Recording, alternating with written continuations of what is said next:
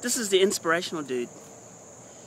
We get what we focus on on a daily basis to the exclusion of everything else. So, what do you focus on?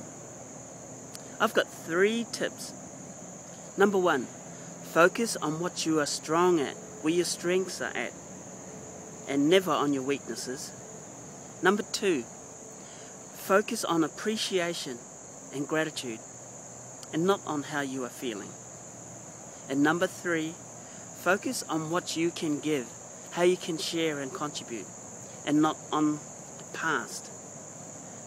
So focus on your strengths, focus on appreciation and gratitude, and number three, focus on how you can serve others, how you can give and share. That is your pathway to happiness. The other three, if you were to focus on weaknesses, if you were to focus on the past, if you were to focus on how you're feeling, that is the pathway to depression. That's how it is done.